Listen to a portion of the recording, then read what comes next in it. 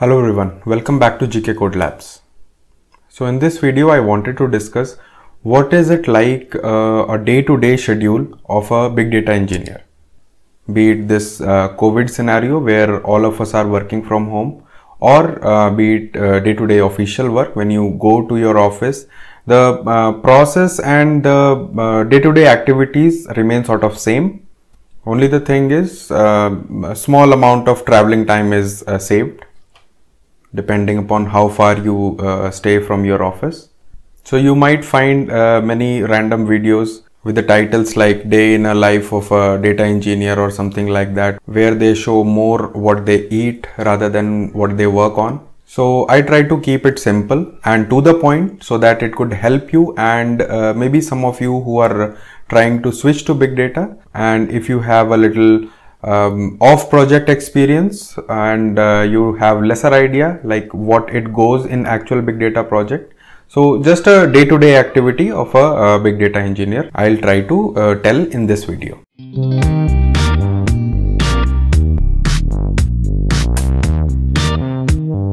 So I'll uh, keep this video more focused on the development perspective of it. Although there are a uh, few more uh, domains in uh, big, any big data project that you can go into it like uh, big data admin or any uh, support activities also. But I'll stick to more of a development perspective of it. What a developer faces, what I faced at one time, what all schedules I was going through and uh, I have seen multiple projects so maybe an overview that I can give of uh, a day-to-day -day activity will uh, help most of you. So uh, usually our uh, day starts at near about 9.30 to 10 depends upon um, how much work you have left earlier or any important call is scheduled. So uh, usually it is 9.30 to 10 uh, right now in COVID scenarios and also uh, when you used to travel to office I don't think any important activity starts before that until unless uh, you have some important work that uh, you skipped or uh, you postponed from the previous day. So in that case, you might have to log in earlier, but uh, usually it is 9.30 to 10. Also that depends upon some uh, important calls in some projects. Uh, it, it, also starts at 11, 11.30.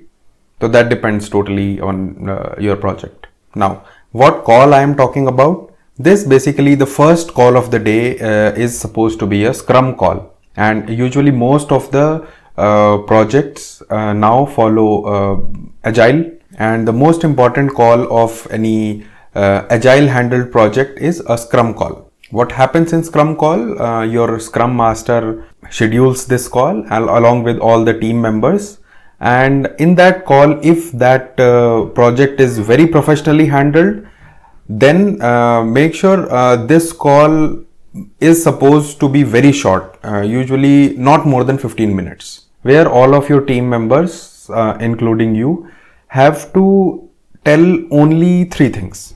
That what you did yesterday what you are going to do today and are there any challenges that you are facing? That's it. Very short because there are other team members as well and everything should wind up in uh, 15 to 20 minutes. So that is how a scrum call is being handled. We are not supposed to discuss the issues like uh, I was doing this yesterday but I was facing this issue. And you keep uh, asking your teammates like uh, did you face this? How to solve this you are not supposed to do that in a scrum call.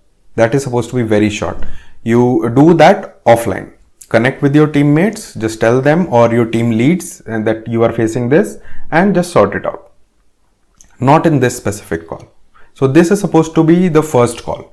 Now in the same call uh, there is an additional activity you can say uh, can be done by your scrum master or by you or some of your lead that uh, they check the updates in uh, the um, agile tool that you are using let's say jira so whatever you have done yesterday, uh, the lead or the scrum master might be sharing his screen and uh, whatever you are telling, the proper um, steps you have taken for that or not, not the coding perspective of it, but um, uh, let's say you did uh, one particular task.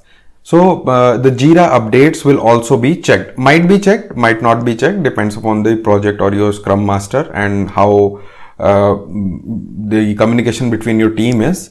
Uh, but uh, that should also be verified in the same call. So whatever you have done, it's uh, better to update each and every step that you are doing uh, along with the uh, very specific documents of it. Let's say you have developed some code, uh, you should be uploading your uh, unit test uh, uh, screenshots or whatever documents are supposed to be maintained. You should be updating and keep updating on that task of yours. So that can also be checked on the same call. I'm telling you all this, maybe um, I'm not sure how much project you have worked on, but uh, maybe in your interviews, if this is asked, so you should have a background that uh, how it all goes uh, in mm, any actual uh, project.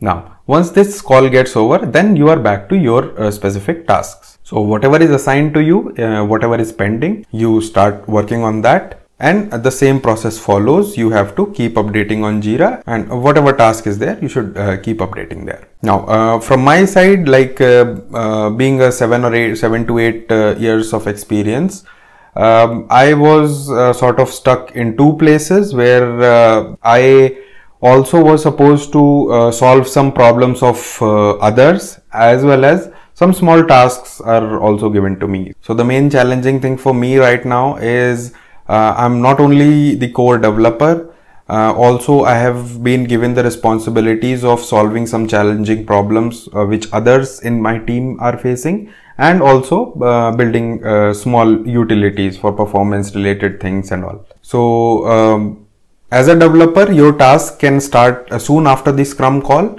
but my actual task were hindered by all these uh, pings and calls and uh, people used to pull me in some calls due to some issues and all. So uh, these thing these issues could be uh, some of the coding challenges like uh, recently what i remember is um, the input file that was given to us was not any not in any standard format that spark could, could recognize.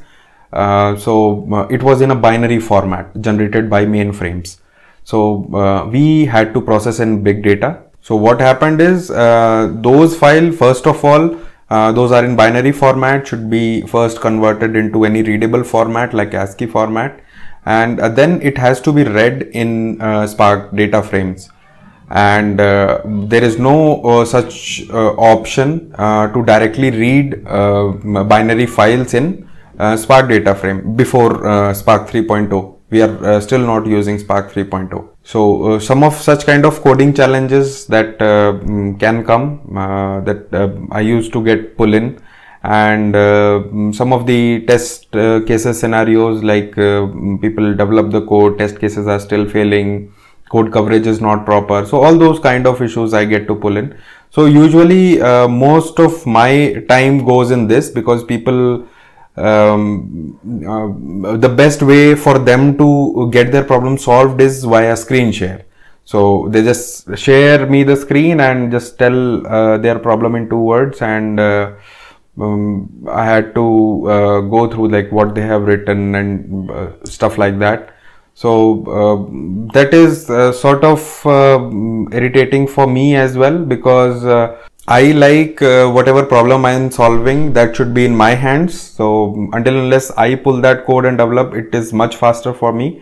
But uh, there is no option, so I do have to do that. And uh, uh personally telling from my side, um, um, being a seven or eight years of experience, I uh, cannot even get to my work uh, before 5 or 6 p.m.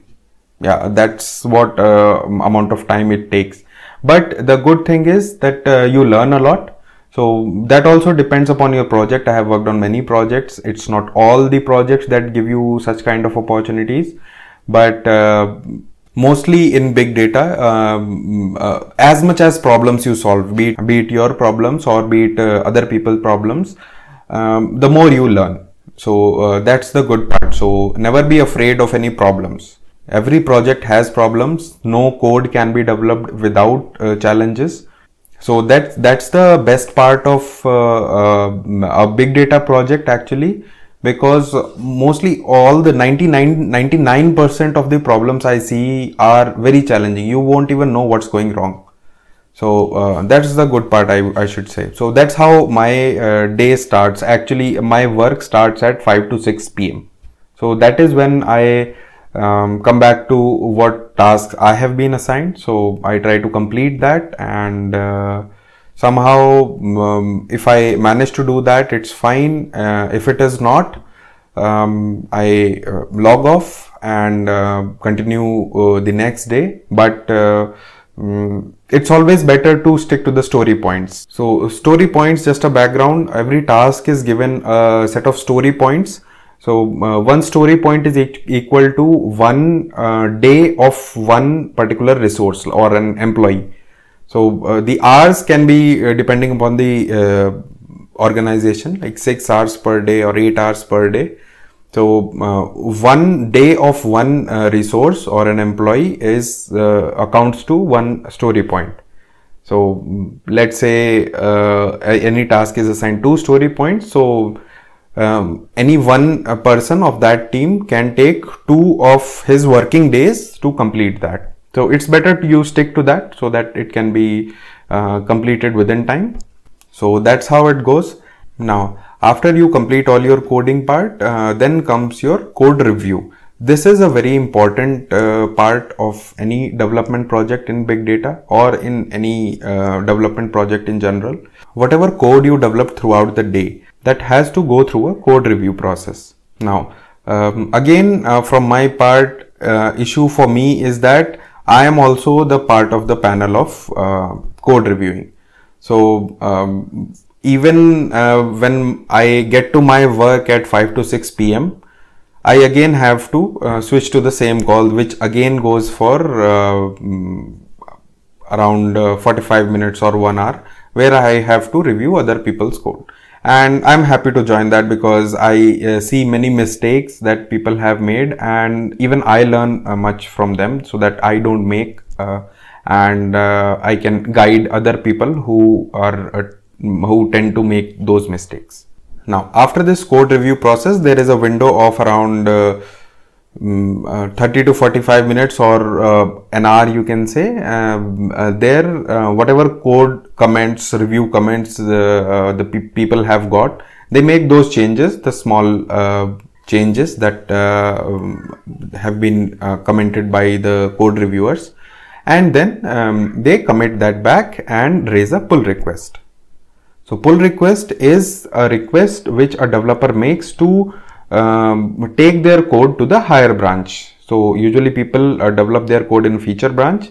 Then uh, once that code uh, is reviewed and it is approved in a pull request, the code can be merged to a higher branch, let's say a dev branch or a master branch. So after all this, um, it's um, uh, usually people call it a day and they log off and uh, this particular scenario happens um, till Thursday you can say because uh, Friday or the end of sprint let's say it's a two week sprint so uh, every second Friday is a um, code review so sprint review you can say so that uh, goes to the client so uh, whatever all this activity we have done in two weeks um, all this code changes and what developments we have made, we have to um, demo in front of the client. So uh, he is aware that what all we uh, we have done. And most important part, if you have to uh, stick to your quality checks and all uh, from the client side,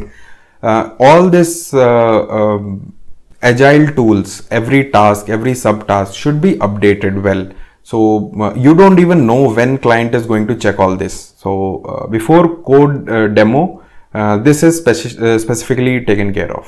So everything is updated, then we are good to go. Now, this all specific scenario, which I told you, this is focused on the majority of your concerned project what you are thinking like you'll be going in a big data project you'll be uh, developing the applications and all but this is not actually the case every time.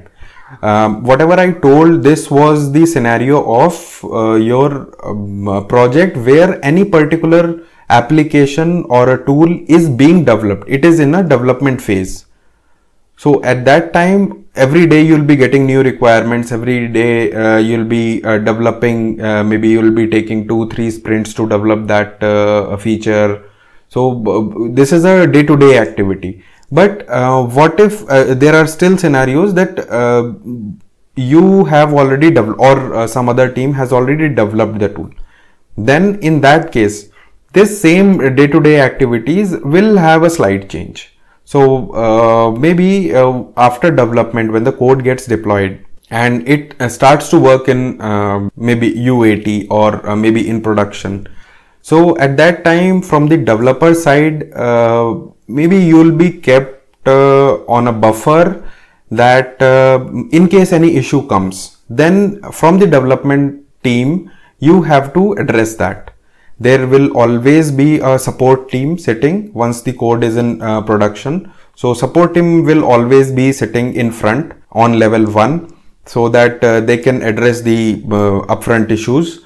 But uh, what happens in any new tool, I have seen that uh, the mm, support team does not actually uh, owns any particular issue so they might say this is a new thing. I don't know. Let let's push that to a developer. So at that time your role might change a little bit. You have to see what all issues are there. You have to answer. Maybe the there is no issue. The application is supposed to uh, work that way but no one knows. So uh, maybe your role can be that that you don't have to develop anything. Maybe you have to develop in case any enhancements comes in but uh, there is uh, the uh, amount of work is less but uh, the attention required from you is more. So there can be such scenarios. So i hope uh, after uh, all this small background that i gave you are now aware what all goes on the background and on the very specific ground level what goes. Um, and maybe you can um, take some specific points from this and I'm sure this is one of the uh, most important question that is asked in the interviews that what you used to do. So uh, I hope this video will help you. So if you have any more questions or if you want to share your uh, project experiences, please uh, write us on the comment section below. And uh, I hope you enjoyed this. Please hit that like button if you really did. And please subscribe to GK Code Labs if you have not already done. Thank you guys. See you later.